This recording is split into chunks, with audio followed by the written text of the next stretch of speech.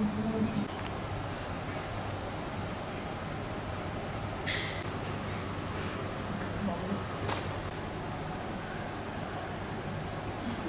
yılın dedileri. İşim bitti ben varsa sonra gel. Bekle şeyim varsa.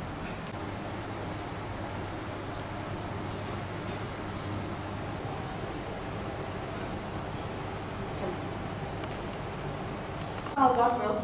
Ee, bence şu an çok güzel oldu. Ben Pek yok.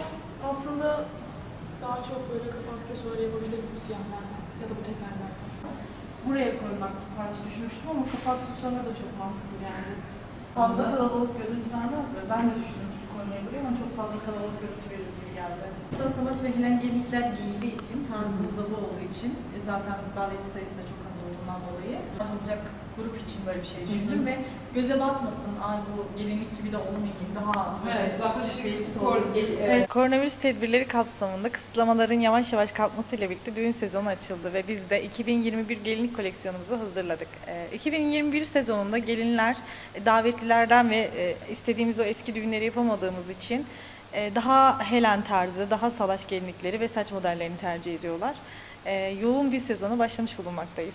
E, gelinlerimiz daha sade modelleri tercih etmeye başladı. Daha rahat modelleri tercih etmeye başladı ve pandemi sürecinde herkes rahat giyime de alıştığı için gelinlik haricinde günlük hayatında da rahat giyim devam ediyor herkeste. Bu senenin modası ve mottosu rahatlık. 2021 yılında en çok tercih edilen gelinliklerdeki aksesuarlar dantel, e, tül, e, dantel, tül. Taş çok ağırlıkta yok. Hatta taş neredeyse yok denilecek kadar az. E, sadece tarzı olan insanlar taş kullanıyorlar. Renkler beyazdan daha kırık. Kahve gelinlikler de var. Kırık beyaz gelinlikler de var. Bu şekilde savaş devam eden, e, tarlatansız, kasnaksız, balık nadir olan, işte sadece nikahtan gidecek gelinlerimiz balık giyiyorlar. Diğer gelinlerimizin hepsi e, daha çok Helen tarzı, uçuş uçuş sade gelinlikleri tercih ediyorlar.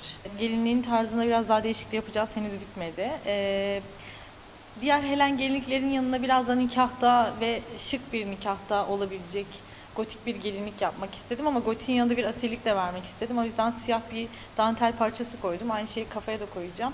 Ee, ben de bu sene kuşlardan etkilendim. Albatros'tan özellikle çok etkilendim. Bu şekilde bir koleksiyon hazırladım.